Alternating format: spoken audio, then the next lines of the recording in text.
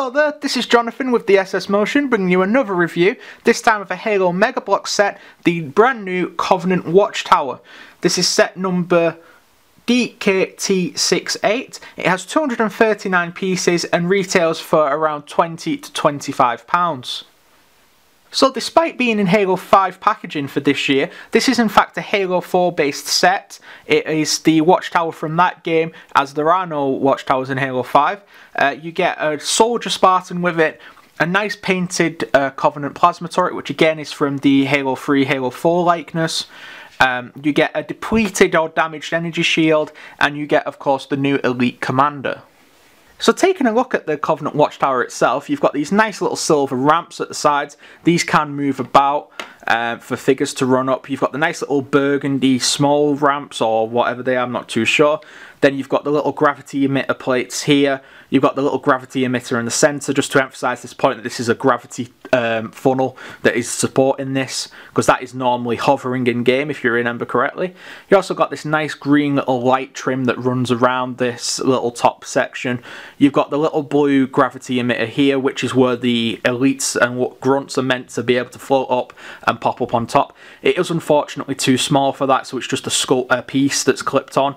Um, it's a bit of a shame that it doesn't have an actual hole in there like say the Phantom did, but still otherwise it's a great little piece. Especially, I really like these um, little spikes here, they're fantastic little pieces. Um, otherwise a great little accessory and it's a great little army builder if you want a nice big Covenant base.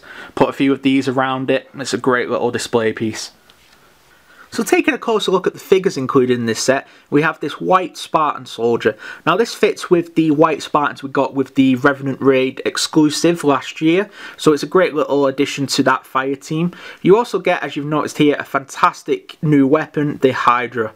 Now we've had this before in the fire team Stingray set. We at the SS Motion were lucky enough to find those sets um, before this one, so we've had this weapon for quite a while ourselves, but for a lot of you it's going to be a new weapon and it's absolutely fantastic. The sculpting detail is brilliant.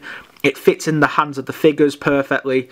Um, a lot of weapons sometimes struggle with uh, being shouldered. This weapon doesn't have that problem at all.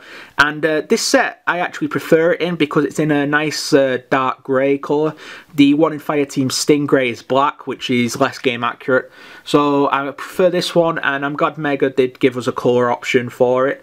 Uh, as you can see, the rest of it is just standard soldier armour arms removable as expected, the articulation is standard, but it's a great little figure with a great little weapon.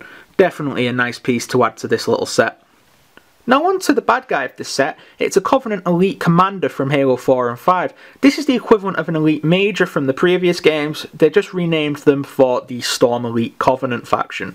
Now as you can see the armour is really highly detailed, it is of course removable as with previous elites that we've recently got, uh, you get a fantastic colour scheme. On the box it does have a bit of a crimson tint on the little character bio, so I hope this isn't Mega Bloks' attempt at a crimson one. The crimson is more accurate to the game, but this clearly is not crimson, it is definitely brown. So I hope they don't think that colour's done, they definitely need to go back and do this. Um, but at the moment this is a fantastic elite, the armour really makes it stand out and you get a fantastic little weapon here which is of course the brand new Halo 5 Fuel Giving you a better view of the fuel rod here, you can see it's a brand new sculpt. There's nothing from the original one uh, that Mega did that's in this. Fantastic little piece. Has the sculpted ammunition counter here. It's got the flip out sight activated here, which is a fantastic little detail that they could have left off but didn't. You get a nice grip here and a nice grip here, which is great for two-handed. The Elite does struggle with it a little bit. It's just about doable. Um, it fits better with Spartans, but I do feel the Elite arms are a bit short. If I flatten it out here for you, as you can see the arm doesn't really go very low down on the body so I feel that is limiting his uh, grip of it a little bit but it's still a fantastic weapon and I hope that we see it a lot in the future. It's a great little weapon and it's a fantastic um, rendition of the Halo 5 model. So on to the accessories of this set. We get a nice Covenant plasma turret here, which is based on the Halo 4 design, as I've said.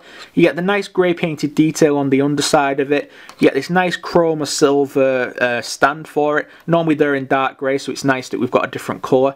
You've got the gravity effect here, and of course you've got the grips here to put a figure on at the back. It's a fantastic little piece, but I do suppose it's time for an update. Uh, there is a different one in Halo 5. It's a redesign, so I hope that they make that one at some point. But for now, this is a fantastic little piece, um, and it will do for now onto the shield here and it's a nice orange energy colour which simulates a shield that's about to collapse. That is like a battle damage shield normally they're blue but when they take too much damage they glow orange then red and then just collapse. So it's glad that Mega are giving us two representations of the energy shield. Get a nice purple emitter here. Now this is based on the um, deployable cover from Halo 3, just based solely on this design section here. That is that emitter. Um, so it is a little out of place for a Halo 4 set. Uh, these could do with being redone now so we get the larger um, Covenant shields that we see through most of the games. This is an equipment piece, not an actual energy shield technically. So I hope we do see it updated. But as it is, it's a great little piece that I'm glad to see a variant of. So otherwise, no complaints on it. So overall you get a fantastic new little set. It's a great watchtower that's been highly requested and wanted for the last few years, so it's glad that Mega Bloks are listening to the fans. We've finally seen a new one here, and it's really well represented. You get great figure loadout, you get some great accessories, including some brand new weapons. Absolutely fantastic set. I should, however, point out that this set is out of scale. It's about half the size of what it truly should be. As I mentioned before, you can't have any Covenant pop up through the hole up here. It is quite under scale. Um, we reckon it should be about double the size of what it is, but obviously the part count and the price came into effect and Mega wanted to give us an affordable army builder set. As it is, it stands comparable to the previous Watchtower, which is fine. I mean, they work great. They still stand out on your battlefield displays if you have any of those. So while it is out of scale, it's still a fantastic piece that is highly recommended. Yet a great loadout of figures, great little battle piece, absolutely recommended. So that's it for this review. I hope you've enjoyed it. Don't forget to like, favourite and subscribe. We will be doing more Halo, Call of Duty and Assassin's Creed reviews in the near future. So stay tuned to the channel and for more information on Bloksfest we will be making more announcements about that as we go along. So I will see you in the next video. Bye!